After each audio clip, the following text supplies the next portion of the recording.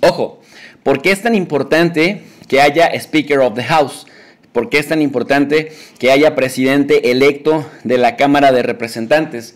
Primero, porque sin él o sin ella no se puede tomar protesta a nuevos congresistas, no se pueden designar presidentes de comisiones, no se puede aprobar ninguna regla de procedimiento, es decir, no podría sesionarse y podría haber consecuencias de parálisis legislativa y también en la aprobación del presupuesto a programas gubernamentales de ese tamaño.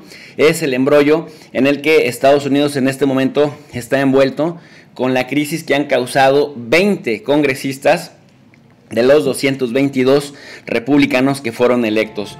Además de presidir la Cámara de Representantes, el Speaker of the House, el presidente o presidenta de la Cámara de Representantes, es la segunda persona en línea de sucesión presidencial en Estados Unidos, solo por detrás de Joe Biden y de Kamala Harris.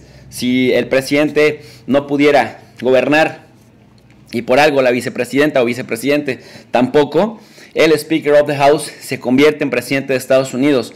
De ese tamaño también es la importancia.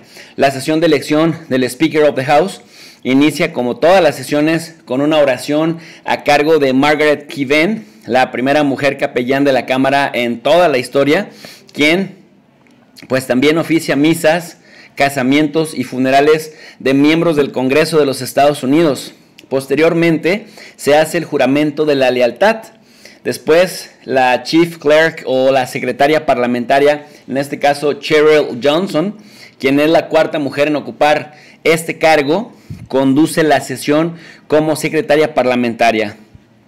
Cabe señalar que allá por 1856, la elección de Nathaniel, eh, Banks duró dos meses, así que no hay eh, por qué asustarse en el sentido de que no pasó en tres sesiones, quizá no pasa en una cuarta, pero en 1856 ya existe el antecedente de una sesión que duró dos meses.